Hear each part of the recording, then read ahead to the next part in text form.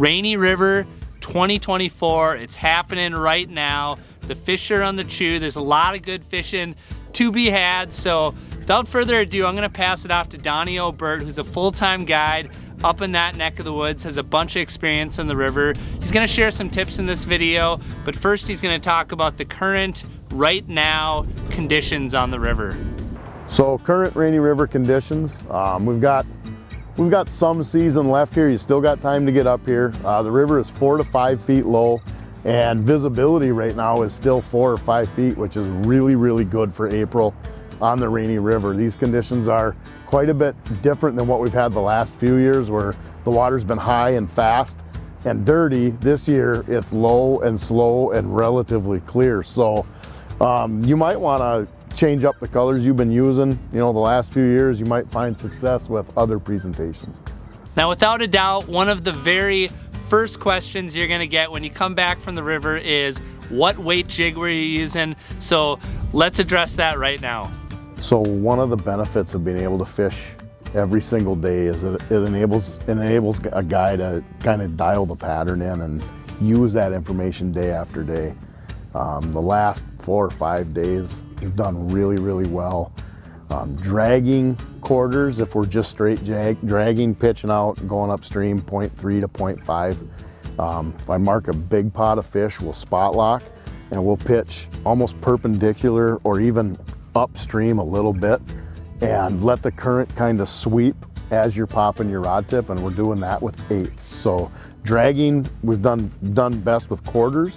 Uh, pitching, we've done best with eighths. So I like to have two rods rigged up so I don't have to retie all the time. If we're if we're dragging and I see a big pot, I'll throw that rod down and grab the other rod and, and so that way you, you just get to keep fishing.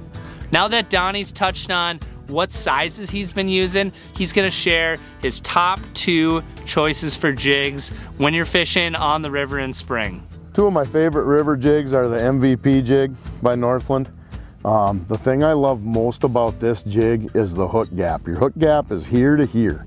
And this, this jig works well, even if you want to upsize your plastics, you still have a lot of hook gap there. In fact, that's a, that's a MVP and, a, and an eighth ounce tungsten side by side. And you can see there's quite a bit more hook gap here. Um, one advantage to the tungstens is its slimmer design has less water resistance. So on a year like this with, with not a ton of flow, this, this eighth ounce will probably get down a little faster than this eighth ounce, just water resistance and pulling into the flow. Another big topic is colors. So now Donnie's gonna share a few of his thoughts on what colors have been hot this year. So with the water clarity being what it is this year, I've leaned real heavy on more naturally colored blates. Um, the Moonlight Glow, the Blueback Shad. There's a couple of gold variations that have been working, working really, really well, getting bit. Um, there has been a couple of days where it's been real overcast and cloudy and a lot less sunlight penetrating the water. On those days, I'll go with a little more exotic colors, your pinks and your chartreuses. Um, another thing you can do when water clarity um, gets lower, if the river muddies up a little bit or if it's real overcast, is you can go to uh, a jig with an underspin on it. So you're getting a little more vibration and flash out of the jig itself. Now Donnie's gonna do a little show and tell. He's gonna demonstrate and explain how he likes to drag jigs and also pitch jigs when he's targeting walleyes on the Rainy River. The two techniques I probably use the most on the river are, are dragging and pitching. Um, pitching, actually let's start with dragging. Uh, so, so typically I wanna start dragging and what dragging is, is it's just a, a 50 foot cast behind the boat. Give yourself one rip of slack. And because the boat is moving, you know, as the boat's moving, it's gonna pull your line tight. And the, the biggest concern river fishing is making sure you're close to the bottom. Um, so a lot of times as I'm dragging, I'll just kind of sweep my rod tip back. You know, if I'm dragging and I'm just holding my rod here, I'll sweep my rod tip back and that slack will just lay on the surface. I know I'm close. Then the speed of the boat will pull that line tight. Um, and that's dragging really. A lot of times the, the less you do, the more you get bit. Let the river do the work. And that has been best this year with quarters, dragging upstream 0.3 to 0.5. Uh, now, as far as pitching, so as we're dragging, I'm watching my side imaging, and like right now, there's a huge pot of fish at 75 feet off the left-hand side of the boat. So I'll then spot lock, and I'll say, guys, you got fish 75 feet this side. So when we pitch, I'll pop, pop it out there, you know, about the distance the fish are, close my bail, and I'm just letting the river kind of sweep that bait down. Then I'll get her tight and just lift and hold. And that river is sweeping that bait down river. Give her a little pop and we're sweeping. Now this year, there is not a ton of flow for the sweeping, so you might have to put a little more action into your, into your baits. But that's an eighth that I pitched out there and the river is hardly moving it. So not a lot of flow this year. But that's it. Uh, dragging upstream 0.3 to 0.5, mark fish, hit your spot lock and pitch right to them or pitch just upstream of them and sweep your baits down past them. Uh, one of those two, and you'll, you'll, the longer you stay on the river, you know, one pattern might work better than others at certain times of day. Gotta go through it to see which one's putting more fish in the boat. Next up, Donnie's gonna talk about where you should be looking for walleyes this time of year on the river and how to find them. One of the really interesting things about the river is the river is the great equalizer. So what I mean by that is um, you can have guys in 12 foot John boats and guys in big fancy fiberglass boats fishing side by side, cheering each other on, having a good time. You know, the river is a social event. So, you know, don't be afraid to say hi to the guys next to you. You know, there's gonna be boats flying up and down and and uh, just do your thing and fish. Uh, there's there'll be probably more boats if you've never been here. There's gonna be more boats than probably you've ever seen in your life. So uh, keep in mind it's a social event you know, you got to get up and down the river, you got to drive, stay on plane, just go. Uh, if you slow down for every boat you go by, you're never going to get anywhere. So everyone on the river understands that's how that's what river fishing is, especially in April, especially on the Rainy River. So if you've never been up here before and you're not sure where to start, you know, maybe you are that guy in the 12 foot John boat and you don't have a graph and um, you know, most of the guys that are here have been coming here for years. So if you see a long line of boats working a trough or working an area, you know, hop in line and follow them. Do the do the same thing they're doing. Um, if you do have graphs, you know, and you know how to use them, I usually will start, you know, a little colder in the mornings. I will usually start offshore a little further. I'll look for a trough or a trench, you know, and um, we'll drag up the trench. Again, side imaging both sides.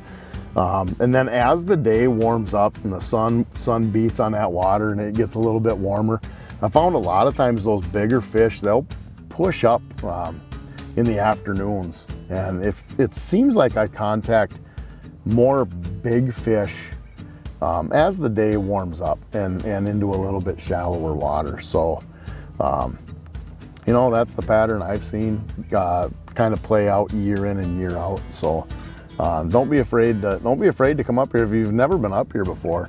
You know it it's it's a magical place. It's uh, man, it draws a lot of people and it's a lot of fun. Uh, it's it's when you come up here year after year after year, you start noticing the same people, you know. So then it really becomes a social event because you see these guys a couple days a year, you know, and everyone's happy to see you. So uh, the river's a pretty special place, man. Now when you're fishing jigs, it pays to have a good rod. Donnie's gonna share his go-to jigging rod. All right, so the rod setup I like for the river, uh, the rod setup I use and the one I give to most of my clients is a uh, seven foot one mag medium light by JT Outdoor Products. Um, I like the rod. It's got a little bit slower action. A lot of times with plastics, people set the hook too fast and you feel that thump and you actually rip the bait out of the fish's mouth. So I like a rod with a little bit slower action. Um, it gives you that, it's kind of built in um, time delay. So it actually lets the fish eat that bait before you before you feel it and can react. Um, you get, I find you get a lot more consistent hook sets. Um, it's also got a nice parabolic bend. Uh, it's real forgiving on big head shakes and big runs. So Next up, Donnie's gonna share his thoughts on line choice when it comes to fishing jigs on the river. The line of choice for me is 10 pound braid um, and a 10 pound fluorocarbon leader joined with a uni to uni knot. And uh, my general rule of thumb is I try to match water clarity to leader length. And that's just something I've always done. So right now the river is, is three, four feet, five feet of water clarity. And three, four foot leader. So I like those to match up. Uh, I figure if, if my eye can't see it, neither can the walleyes. All right, now real quick, Donnie is gonna share a do and a don't when you're out on the Rainy River. We're gonna start off with a do. So one do on the river. I'm gonna give you one do and one do not. Uh, my one do, my mandatory thing to do when you come to the Rainy River is have fun. Uh, it's it's not a contest. It's um, it's your first chance typically, you know, in the state of Minnesota to get in the boat and to bring out the long rods. And uh, man, you know, I like ice fishing, but there's just nothing quite like the first time in the in the boat every spring and and that first hook set, um, you know, with an open water fishing rod is just it's just magical to me, especially after ice season. So my do would be to, to have fun. Come up here and have fun. Bring enough clothes for every kind of weather you can imagine because you're probably gonna fish through it and just have fun, have a good time. High five your buddies. All right, so that's the do. Now here is the don't. I would say do not bring any live bait onto the Canadian side of the river.